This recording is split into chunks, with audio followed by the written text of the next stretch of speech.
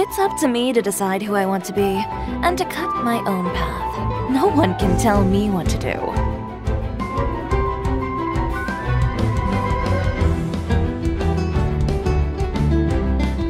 Let's go, Tamoto!